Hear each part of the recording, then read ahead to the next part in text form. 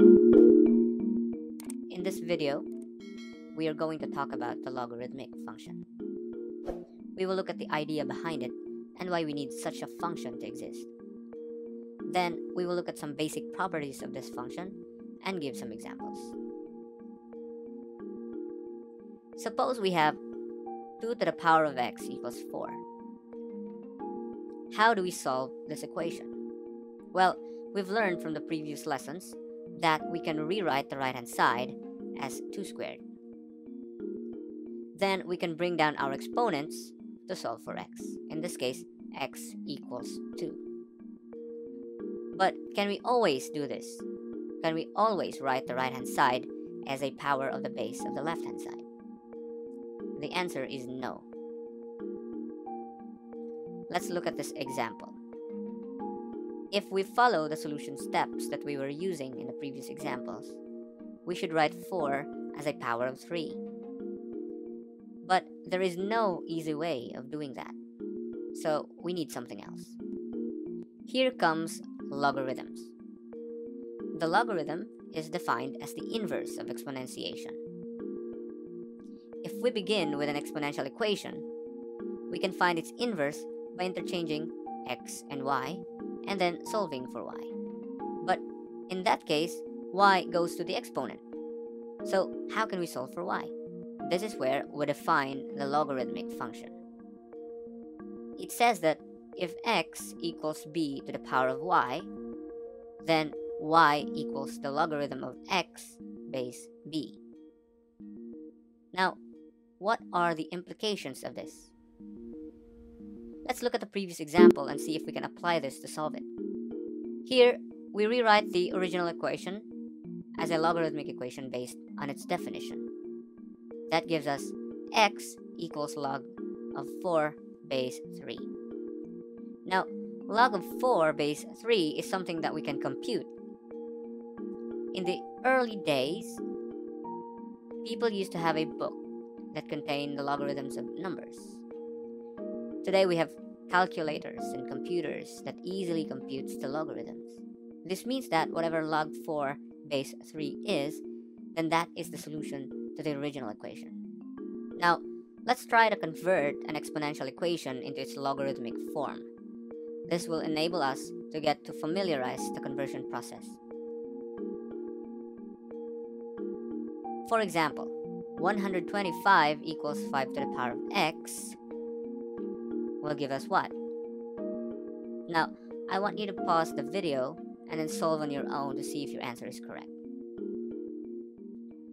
For number 2, we have 3 to the power of y equals 27. Again, pause the video and try to work this out. Here are the basic properties of logarithmic functions. Log of 1 base b equals 0, and it doesn't matter what b is.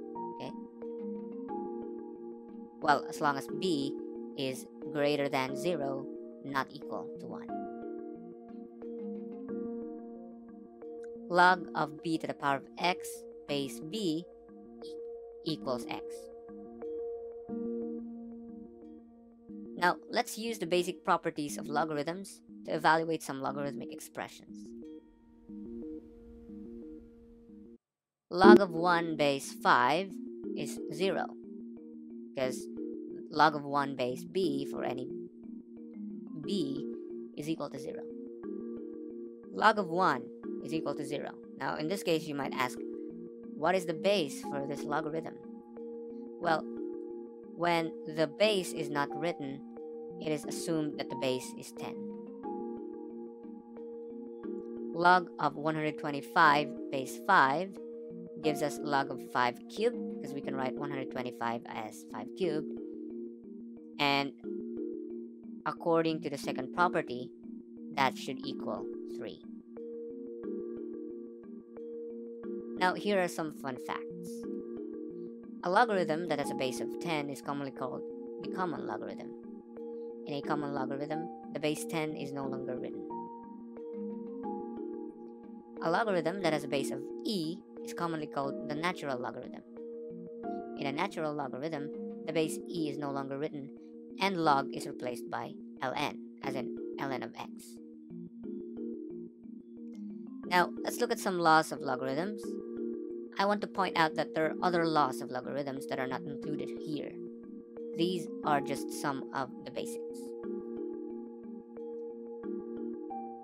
The first law is the product rule. It says that the log of m times n base b is equal to the log of m base b plus the log of n base b. Then the next rule is the quotient rule. It says that the log of m divided by n base b is equal to the log of m base b minus log of n base b. Then we have the power rule. The power rule says the log of x to the power of m base b is equal to m times the logarithm of x base b. Let's put the laws of logarithms to work.